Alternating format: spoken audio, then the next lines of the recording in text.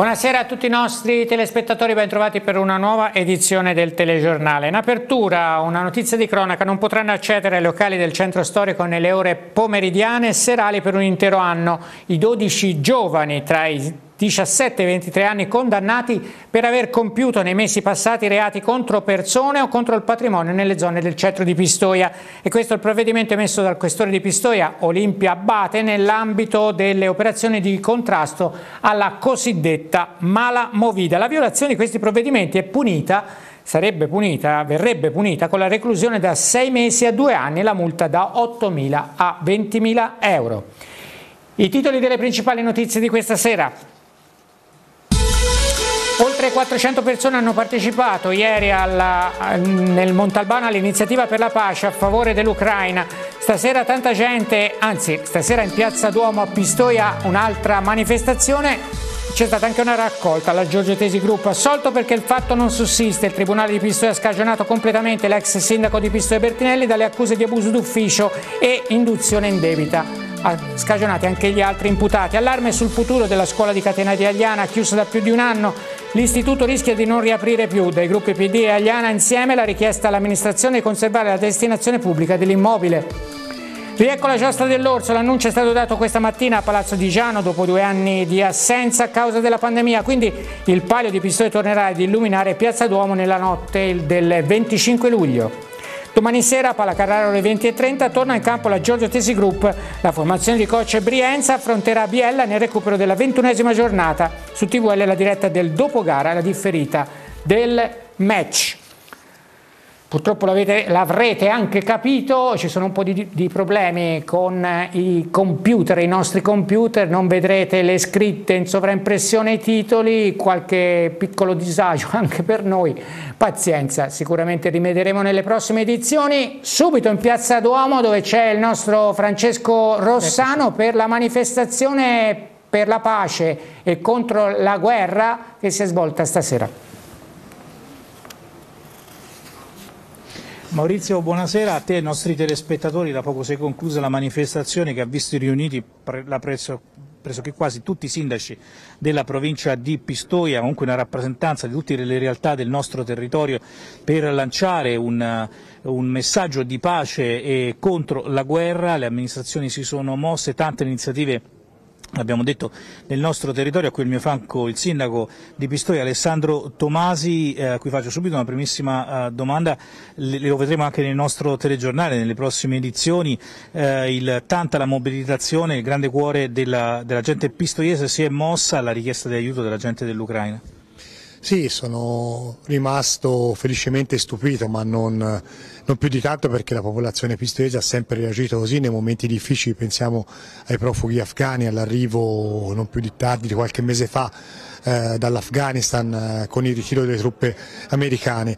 E in queste ore ho cercato di coordinare per il mio comune e così gli altri sindaci queste iniziative spontanee perché di fronte a famiglie che hanno lanciato un appello si sono trovate la casa, il giardino invasa di indumenti, medicine, cibo, abbiamo cercato di dare una mano con i cantieri comunali, con eh, la ditta Sedoni che ci ha prestato gentilmente un furgone per portare questa roba e stoccarla dove potesse essere ordinata e messa sui tir in questo caso negli, nei capannoni della Giorgio Tesi, per eh, iniziare a partire per eh, l'Ucraina. Quindi cerchiamo di disciplinare quello che sta accadendo in modo spontaneo con grande generosità.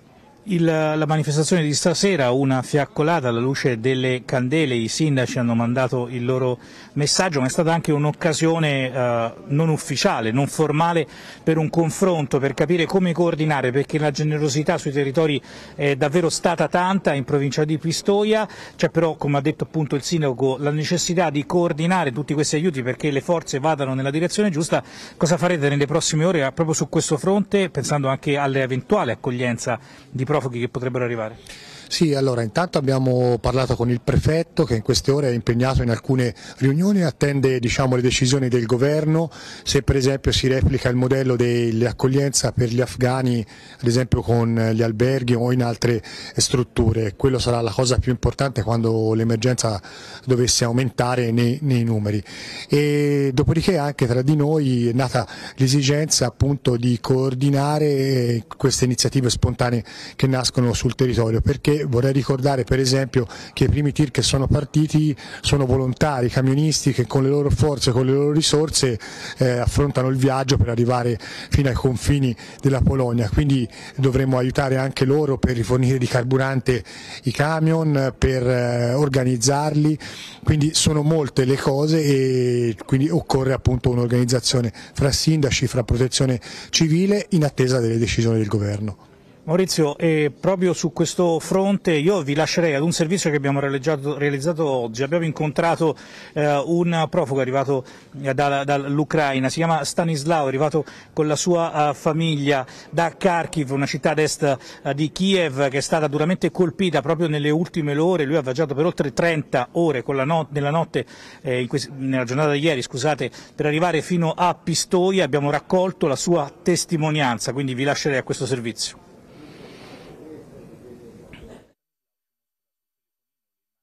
Sua città bombardata, Kharkiv, ad est di Kiev. Fuggito dall'Ucraina portando in salvo dalla guerra la sua famiglia, è arrivato a Pistoia questa notte. Qui conosce alcuni connazionali. Stanislao lavora infatti nel settore vivaistico L'abbiamo incontrato alla Giorgio Tesi Group, dove è al lavoro con altri per preparare pacchi con i prodotti donati dalla gente pistoiese per aiutare profughi e sfollati. Eh, cerco di non pensare di fare qualcosa eh, per non pensare perché veramente mm, mi dice per me è come un sogno. Io non, non, non posso credere che sta succedendo queste cose ora a casa mia. Sono felice della generosità della gente, ci dice, sentiamo che non siamo soli. La possibilità della guerra era nell'aria, ma Stanislao ci ha confidato di essere stato sorpreso dall'arrivo del conflitto sono titolare di un'azienda, ho dipendenti e io fino ad ultimo momento dicevo, dicevo, a tutti i miei dipendenti, amici, parenti che questo non è vero, la guerra non può succedere, è veramente successo. Noi siamo scappati e... con bambini, con tutti, però eh, a noi veramente ora la nostra anima è piange tornerai, vuoi tornare in Ucraina velocemente o resterai ancora un po'? Конечно, вернусь. Как только мы сможем вернуться. Certamente tornerò a casa mia. Prima possibilità che avrò eh, di sicurezza, di eh, possibilità di tornare, eh, sicuramente tornerò al primo giorno. Eh, però noi rifaremo, rifacciamo, ricostruiamo tutto. Мы не простим это. Pistoia, la macchina della solidarietà, come avete sentito, si è mossa subito e come? In uno dei grandi capannoni della Giorgio Tesi Group a Badia Pacciana le piante hanno lasciato il posto a centinaia di scatoloni. All'interno capi d'abbigliamento, coperte, generi di prima necessità, medicinali, anche giocattoli per i più piccoli, destinati alla gente dell'Ucraina. La raccolta partita dall'iniziativa di un dipendente dell'azienda vivaistica originario proprio del paese dell'Europa dell'Est attraverso la rete da un'idea è divenuta un vero e proprio fiume in piena grazie alla generosità dei pistoiesi alla Giorgio Tesi Group è praticamente un flusso continuo di persone che portano aiuti. Grazie, grazie veramente, siamo, siamo veramente sor sorpresi da, da tutto questo volume, da tutta questa gente che stanno venendo, veramente grazie, grazie al territorio, grazie all'azienda grazie alla Giorgio Tesi Group che hanno dato possibilità di fare tutto questo perché ora stanno raccogliendo in tutta l'Italia, lo so, eh, la merce ma eh, hanno pochissime possibilità di raccogliere, di eh, separare, di caricare, di eh, tutto questo. Ad attendere gli scatoloni fuori dal capannone due camion. Sarebbero dovuti ripartire per l'Ucraina carichi di piante, ma sono stati svuotati dopo l'annullamento degli ordini per lo scoppio della guerra. A breve si rimetteranno in moto, questa volta carichi di aiuti. Sono già altri camion in arrivo, perciò eh, la catena è partita, noi abbiamo messo a disposizione le strutture su iniziativa appunto dei ragazzi nostri che lavorano con noi è il minimo che possiamo fare ecco, per questa situazione totalmente inaspettata, un, un, disastro, un disastro assoluto. I prodotti arrivano, vengono divisi, smistati, etichettati, sopra ogni scatola è scritto eh, che cosa contiene. Questo materiale come arriverà ai, ai profughi, a chi ha bisogno in Ucraina in questo momento? E come arriverà ancora non è stato definito perché vogliamo avere la certezza che arrivi prima possibile nella destinazione giusta, che non faccia percorsi dove rimane magari fuori da percorsi umanitari e tutt'altro. Stiamo valutando col consolato, con l'ambasciata, con le associazioni umanitarie qual è la strada più veloce e più sicura per poter far partire il camion. Manifestazioni in strada in piazza ieri sera nel Montalbano. Due comuni, Larciano e Lamporecchio, insieme per dire no alla guerra. Due cortei, partiti distinti, divisi dalle rispettive piazze, che si sono incontrati e uniti per formare un'unica marea umana. Oltre 400 persone, uomini, donne, bambini, anziani, associazioni che si sono ritrovati sotto un'unica bandiera, quella della pace. No alla guerra in Ucraina, no alla follia di Putin. Cosa vi auspicate? Che finisca tutto la pace, la serenità e l'unione tra i popoli. Questa è una cosa gravissima nel 2022 ancora essere, eh, avere qualcuno che pensa a fare la guerra, ci sono altri mezzi. Di riuscire a dare un, un piccolissimo contributo nel, nel, nostro piccolo appunto eh, in questa pace per fine della guerra.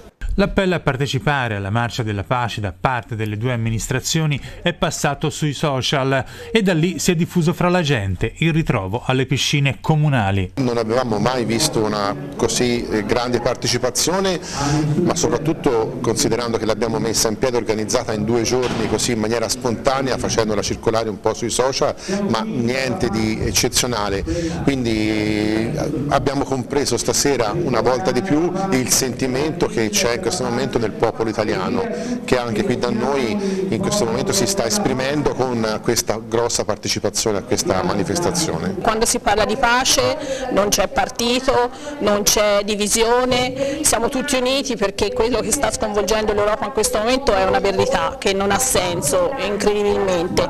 Come ho detto nel mio discorso, in un momento appena passato diciamo, il periodo più critico della pandemia, con tutte le aspettative che abbiamo anche per questo questi fondi del PNRR dove dovremmo pensare a ricostruire, pensare al futuro, alle scuole, allo sviluppo, alla tecnologia, a fare nuovi ospedali, a cercare di migliorare questi nostri paesi, invece dobbiamo spendere energia, tempo e preoccupazione per queste persone che stanno vivendo questo dramma, infatti ci mobiliteremo come stanno già facendo in molti nella raccolta di generi alimentari, di, eh, di vestiario per poterlo mandare alle persone che stanno vivendo appunto questa tragedia.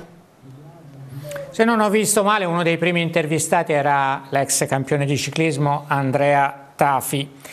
La crisi fra Russia e Ucraina e gli strascichi della pandemia stanno continuando a minacciare la ripresa del turismo a Montecatini. Sul piatto ci sono poche certezze e tante incognite, proprio quando il turismo internazionale pareva ridare un po' di speranza e qualche barlume di luce in fondo al famigerato tunnel, un tunnel di due anni targato pandemia. Oggi tornano le incertezze legate alla guerra in atto fra la Russia di Putin e il popolo ucraino la fotografia e le prospettive per il prossimo futuro nelle parole dei due rappresentanti dell'Associazione degli Albergatori, Fabio Cenni per Assotel Confesercenti e Carlo Bartolini, presidente di Federalberghi APAM. Il turismo russo era già in difficoltà per, rispetto ovviamente al 2019 per i motivi della pandemia. Eh, quello che abbiamo visto è un uh, inizio di eh, forti cancellazioni dal mercato ucraino, un altro mercato molto importante per Montecatini, per le terme di Montecatini, che avevano già iniziato a prenotare. Il turismo russo e tutto l'ex blocco Unione Sovietica è molto importante per, per, la Val di Nievole e le cancellazioni sui prossimi arrivi, quelli di marzo, ci sono già, già state. Il timore più grosso che ho è su eventuali ehm, un travel warning che l'America potrebbe emettere perché gli americani adesso in città ci sono, sono in, a Firenze, sono in tutte le grandi città, hanno ripreso finalmente a viaggiare dopo due anni di stop,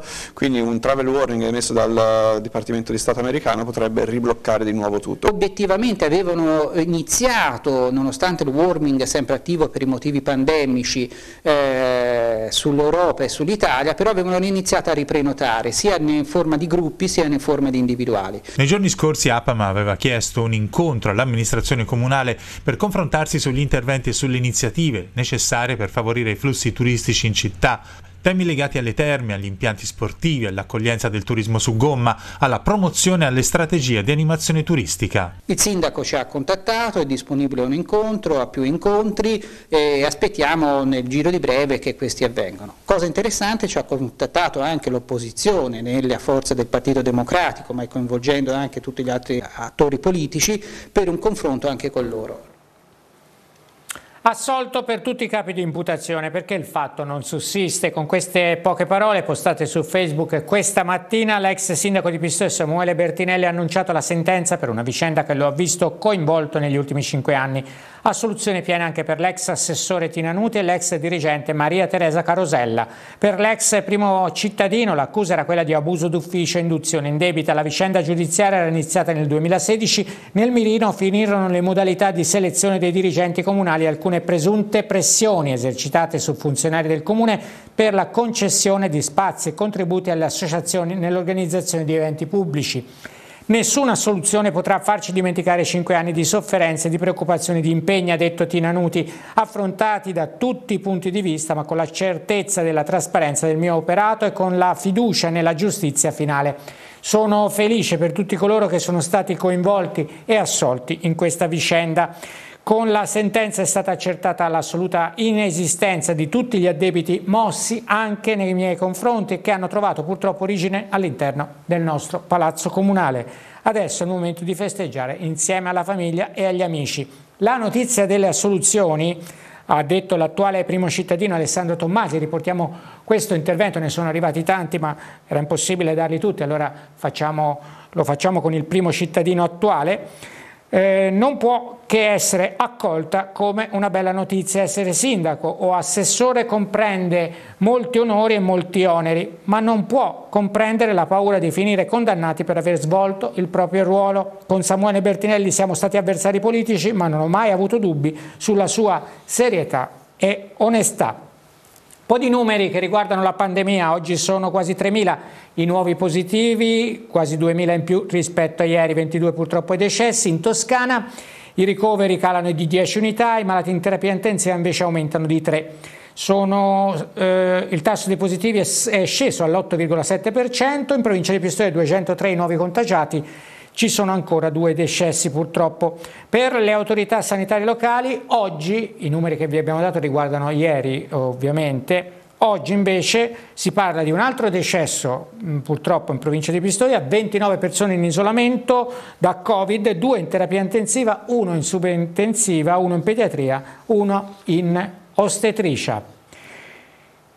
Facendo debiti scongiuri, perché visto come sta andando tutto, tutta la situazione mondiale a livello sanitario e anche ora di, altre, di altro specie purtroppo, dovrebbe tornare la giostra dell'orso il 25 di luglio. I prossimi giorni ci saranno approfondimenti con l'amministrazione per quanto riguarda la fattibilità o no, ma insomma tutto sta andando per il verso che la giostra verrà fatta. L'annuncio è stato dato a margine della presentazione a Palazzo di Gianno del Carnevale 2022. Il Comitato cittadino della Giostra dell'Orso è al lavoro al fianco del Comune per rivitalizzare il mondo attorno alla giostra che tornerà dopo lo stop dovuto alla pandemia.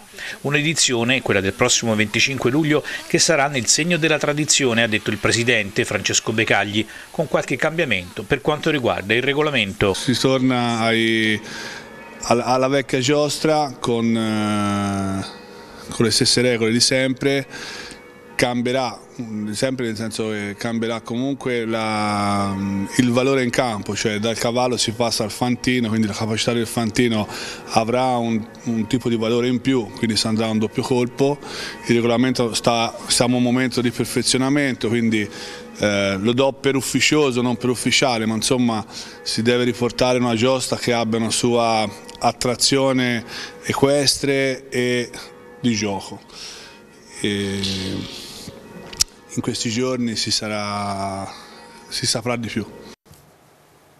C'è un allarme riguardo al futuro della scuola di Catena di Quarrata, di Catena di Agliana, scusate, chiusa da più di un anno e rischia di non riaprire. La scuola di catena di Agliana in via del Casello, chiusa ormai da più di un anno, rischia di non riaprire più. L'amministrazione comunale di Agliana aveva in programma l'adeguamento antisismico con 400.000 euro già previsti nel piano delle opere pubbliche. Nei mesi successivi la giunta annunciò la decisione di costruire una nuova scuola in via Malmort. I gruppi di opposizione chiedono di tornare a discutere del futuro della ex scuola, ritenendo che debba esserne mantenuta la destinazione pubblica. Come mm, gruppi consigliari Partito Democratico e eh, insieme a Tagliana in Comune abbiamo presentato una mozione per il recupero della scuola della catena. Crediamo che sia molto importante mantenere la destinazione pubblica di quello spazio eh, perché dopo la chiusura di un anno fa a, casa, a causa di, di, problemi strutturali non si sono avute diciamo, eh, notizie notizie e aggiornamenti. Le dichiarazioni del sindaco di allora paventavano anche la possibilità, oltre all'individuazione di, diciamo, di, una nuova zona per la scuola in via Mallemort, anche la possibilità di cedere quella struttura per la realizzazione di edilizia privata. Noi crediamo, al di là poi dell'utilità che si potrà trovare in quello spazio, che sia la casa delle associazioni, che sia nuovamente una scuola, che sia spazio per uffici pubblici, che nella frazione della catena debba rimanere un presidio pubblico fondamentale, perché quella zona è altamente ehm, popolata, ha pochi spazi pubblici, pubblici e quindi questo è un principio fondamentale, un impegno per tutte le forze politiche in Consiglio Comunale. Chiediamo all'amministrazione effettivamente di darci una risposta chiara su qual è l'utilizzo che intende fare della scuola, dell'ex scuola della catena. Questa amministrazione come primo atto ha subito eh, incentivato una maggiore urbanizzazione del nostro territorio e noi vogliamo impedire che la scuola, l'ex scuola della catena, trasformata in un'opera di edilizia privata rendendo un territorio ancora più difficile da vivere perché densamente abitato e urbanizzato. Per questo, visto che l'amministrazione pone sempre i temi principali, la sicurezza sicurezza del territorio, noi crediamo che la sicurezza del territorio va fatta vivendo i nostri spazi, quindi è fondamentale lasciare questo presidio pubblico alla catena affinché questo spazio possa essere messo a disposizione delle associazioni, del, del territorio e di tutta la collettività, perché Agnana necessita di questi spazi e Agnana è fondamentale che questi spazi veramente possano ritornare ad essere presenti come nel passato. Hanno costruito il loro nido sulla cima di un pilone dell'energia elettrica. Si tratta di una coppia di cicogne che ormai da quattro anni ha scelto Cintolese sul territorio di Monsumano per realizzare la propria casa. Ora è distribuzione, gruppo Enel che gestisce la rete di distribuzione dell'energia elettrica con la consulenza del centro di ricerca del Paduro di Fucecchio è andata a sostituire la piattaforma che accoglieva il nido con una più adeguata in modo da ospitare le cicogne nell'imminente stagione primaverile. La cicogna bianca nidifica in Toscana dal 2005, dopo alcuni secoli di assenza, attualmente sono solo 10 i siti di nidificazione in tutta la regione. La coppia si è anche riprodotta, come vedete, con successo.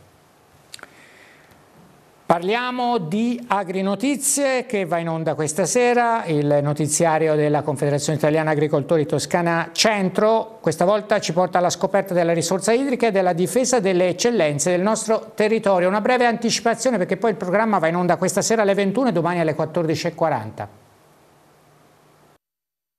C'è però un attacco dell'Europa alle produzioni di grande qualità primo fra tutti il vino. Voi cosa pensate di fare? Siamo estremamente preoccupati abbiamo visto questa cosa dei semafori dove tutti i nostri prodotti tradizionali dal parmigiano venivano quasi bollati come non salutari. Siamo preoccupati, ci stiamo muovendo perché non possiamo assolutamente perdere queste eccellenze, il nome di queste eccellenze soprattutto che fa grande il nostro paese appunto non solo in Europa ma anche nel mondo.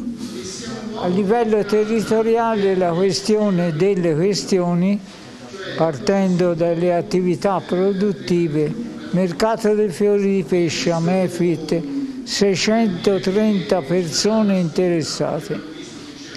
Cosa pensate di attivare perché a giugno questa struttura essenziale non chiuda? Tutto il possibile perché come C abbiamo tantissime aziende là sotto, l'ho ricordato in altre occasioni, di 90 delegati che abbiamo eletto nell'assemblea delle tre province, 20 vengono da Pescia, quindi questo è relativo al numero di soci che abbiamo in quei luoghi abbiamo veramente la maggioranza delle aziende presenti in quel territorio. Per noi il mercato è un luogo essenziale.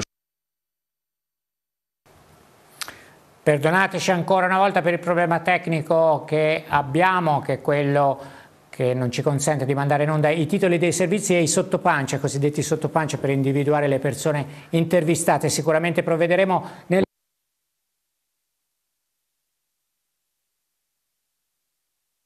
sportiva e poi comunque non abbandonate TVL, grazie per averci seguito.